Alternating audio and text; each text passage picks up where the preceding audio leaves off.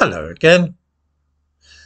Those of us who have raised our eyebrows and rolled our eyes at the sight of white characters from English history being played on screen by black people have in the past been roundly admonished here by those commenting that only talent should matter in auditions. And what does it matter if we operate a policy of colourblind casting? So, a new production of Shakespeare's Richard III has Adjoa Andoh, a black woman who starred in Bridgerton in the leading role. So what if Richard III was a white man? Why shouldn't a black woman play the part? Are we sexist as well as racist? There are those of us who think that something other than colourblind casting, purely according to talent, is going on here. We suspect that television producers, filmmakers, and the directors of theatres have latched onto this idea of putting black people in white roles because they think it makes them look very up to date and progressive. In other words, it's fashionable.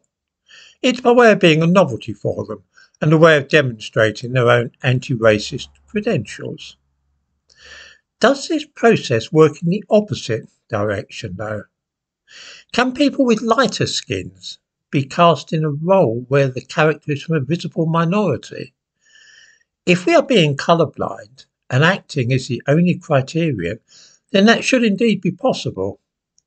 Although many of us have an idea that such a thing is unlikely in the extreme to happen in the real world.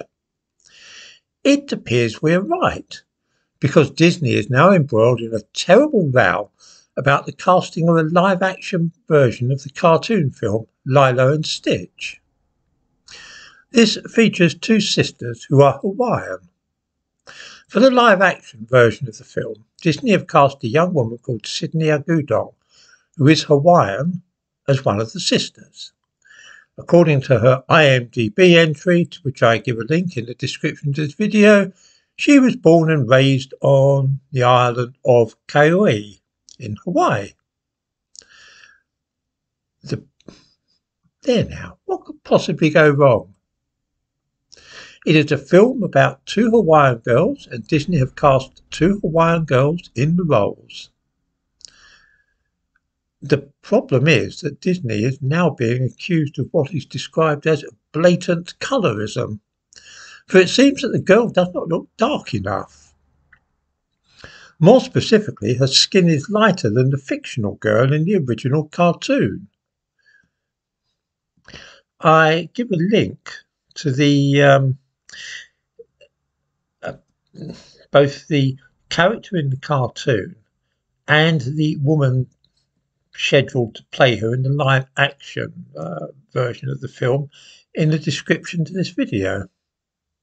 There is no question that the actor is a dark skinned Hawaiian, but she's seen as being too white by some critics.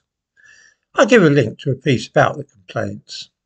The only complaint here is that the skin colour is too white. Everybody agrees that she is Hawaiian and that she's a good actor, but that's not enough. Colourblind casting, eh?